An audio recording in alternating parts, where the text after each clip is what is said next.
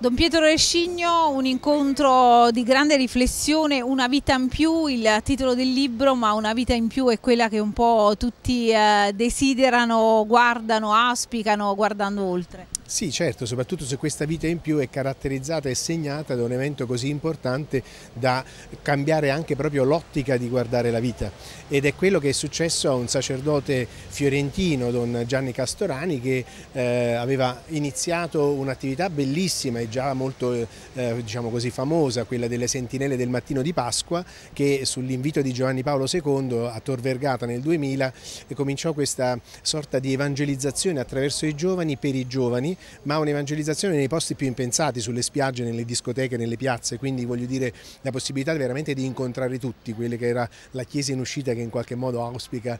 Papa Francesco anche. No? E, ehm, ma questa vita così attiva di grande sportivo è stata segnata da due anni fa un ictus devastante che praticamente eh, lo dava per spacciato e eh, adesso lo racconta, quindi evidentemente eh, il suo percorso è stato un percorso invece di rinascita, ma non solo una rinascita dal punto di vista fisico perché ha recuperato totalmente quello che nessuno pensava potesse recuperare, ma ha recuperato anche in questa dimensione la capacità di leggere questi imprevisti della vita che molte volte ti schiacciano, ti annientano, come la possibilità di una vita che è molto più di quanto non fosse prima.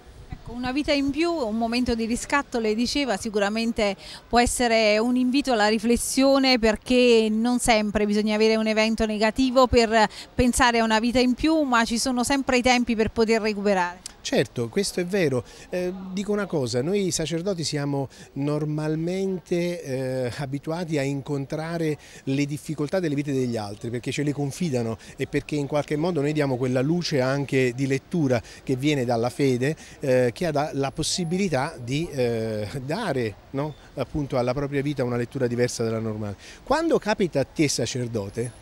eh, allora è il momento per cui praticamente tu fai la prova del 9 di tutto quello che fondamentalmente testimoni perché l'hai sperimentato in un cammino, ma che diventa la tua personalità. E penso che da questo punto di vista allora è um, un in più